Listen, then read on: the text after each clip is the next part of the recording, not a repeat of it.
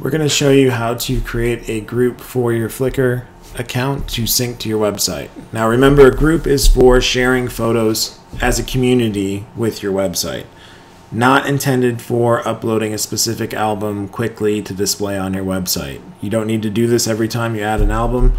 This is not the video for that. However, to create a group, you simply just log into your Flickr account, you create a group, choose the public option that anyone can join, here we have a description and a name that we hope is easily recognizable for the Brainerd Lakes Area Snowmobile Trails group, which is what we're going to be adding this for. Here we can choose what we want non-members to be able to have. And I suggest leaving this open simply because it's nice to allow visitors to see your photos and discussions. Keep the levels of the administrator and moderators the same. If you want to change them, you can. But then once you're done with that, you're all done.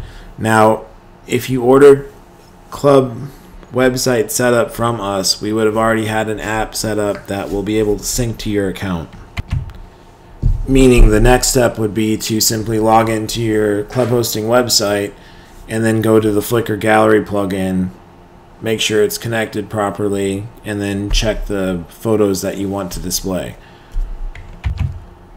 Now technically your group has been created, but it's always a good idea to just to run through the rules one time when you're doing this to make sure that you have it set up exactly how you want. The biggest thing that I suggest everyone do is to create a Flickr web alias.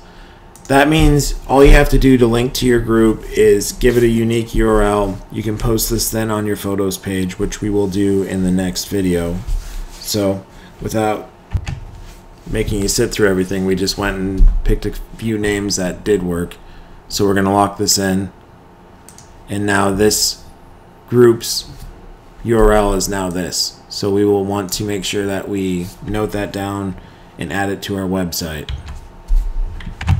Other useful things that you may wish to do is to add keywords.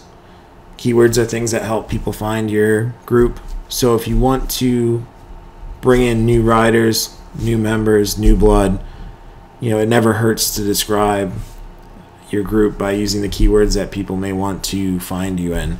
So, for example, the Brainerd Snowmobile Trails area obviously would want to use the Brainerd keywords as well as snowmobiling Minnesota.